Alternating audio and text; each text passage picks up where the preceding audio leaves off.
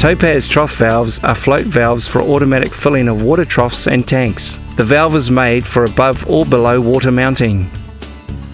Topaz trough valves are a good choice where their high flow, compact, robust non corrosive construction and high level of adaptability are needed. The Topaz valve has a lock off switch to lock it in the off position. The Topaz valve makes water level adjustment easy. The float connecting point has a series of interlocking grooves to positively locate the float at various angles. The valve is fitted to the trough by screwing it in hand tight.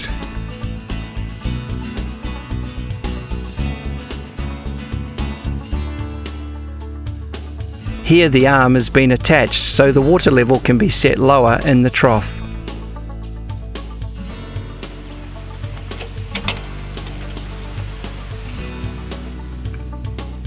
The extension arm slides to give even more adjustment. The extension arm has a central float locating point to provide still more adjustment. With the Topaz valve, it's no problem getting just the water level you want. The float and arm operate a pilot valve which releases water pressure above the diaphragm. The pipeline pressure then pushes the diaphragm off its seat and water flows through the valve into the trough. The Topaz valve has the detach feature, just a twist of the valve and it's off. This makes cleaning and valve seal quick and easy. Again, just a twist and the valve is back in position.